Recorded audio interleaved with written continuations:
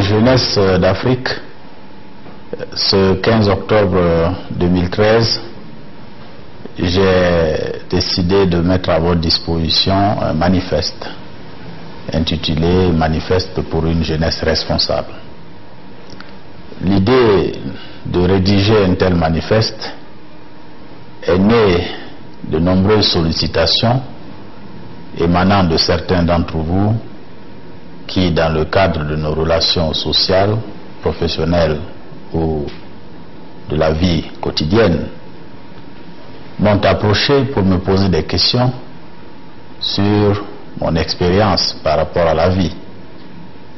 Et j'ai estimé qu'il était important de partager cette expérience avec l'ensemble de la jeunesse du continent et pourquoi pas au-delà du continent.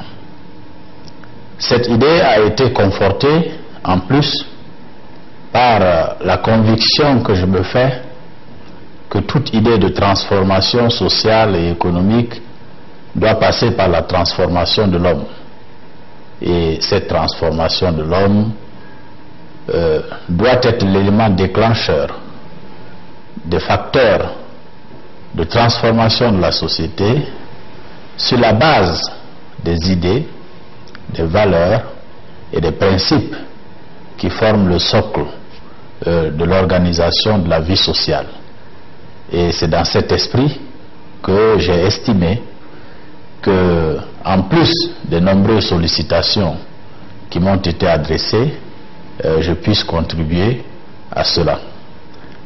L'autre aspect fondamental, c'est que aucune nation ne peut se construire sans un socle de valeurs communes autour desquelles les membres de cette société se reconnaissent.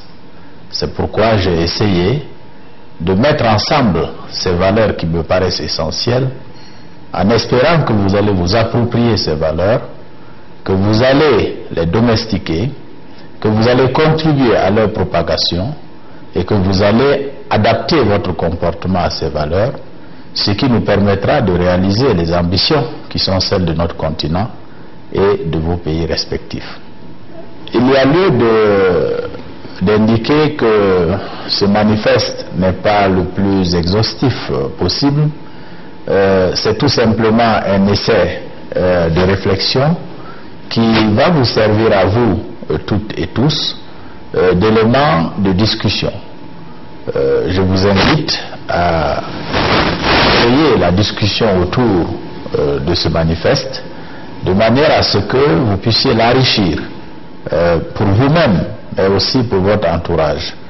Je pense que ce faisant, vous apporterez votre contribution à la transformation euh, des Africaines et des Africains dans l'esprit de la renaissance de notre continent qui euh, ne pourra se faire qu'avec vous, euh, les jeunes Africains, car vous devez être au cœur de notre stratégie de transformation du continent.